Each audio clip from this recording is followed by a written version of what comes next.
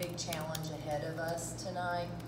Um, you know, we, we had uh, a game plan that I think our players believed in, and we were able to execute it for um, part of the game. Obviously, I think the first quarter was pretty well executed, took care of the basketball. We just weren't able to maintain that focus um, with the level of execution. I'm saying that on both ends of the court. We had some defensive breakdowns that, um, you know, uh, you can't have against that team.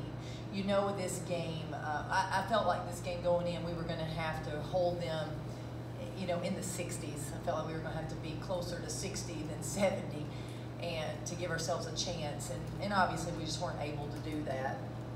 Uh, you know, also going into this game, I knew scoring was going to be a premium with Rennia. So without Rennia, definitely uh, changed how our attack was going to look. Um, but uh, you know, our players they, they played with, with some confidence and they uh, they had a couple good practices leading up to uh, without Rennia. But um, you know, like, like I said, we just weren't able to maintain the level of execution that we